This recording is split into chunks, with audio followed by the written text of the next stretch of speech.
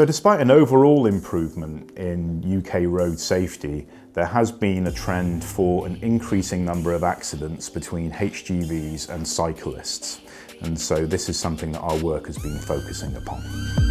Looking um, at statistics, it's really clear that um, HGVs are overrepresented in collisions involving pedestrians and cyclists. And looking at statistics between 2015 and 2017, 63% involved cyclists and 25% a pedestrian, even though HGVs only make up 4% of overall road kilometres in London. So we commissioned Loughborough Design School to look into why this might be happening and one of the early findings was that the vehicle blind spot is a significant contributing factor.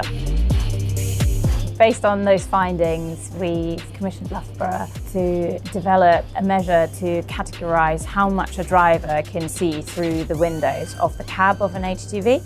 And we've been using this technical work to um, apply it as part of a policy in London, which is um, the world's first standard on direct vision. Well, we developed a new digital technique that allows us to quantify the sizes of these blind spots. And the real surprising outcome was that there are a number of design variables in trucks which can really affect the size of the blind spots, but none of these design variables are actually controlled in any way. So the London implementation is really exciting for us. We're academics and we're having a real world impact and that's always great to be able to say.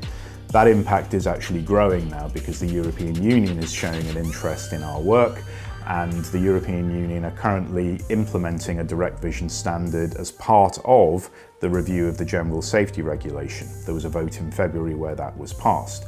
So we're now supporting the EU in implementing our work at a European level and their impact assessment showed that that would save 550 lives per year in Europe, which is something that we're very proud of.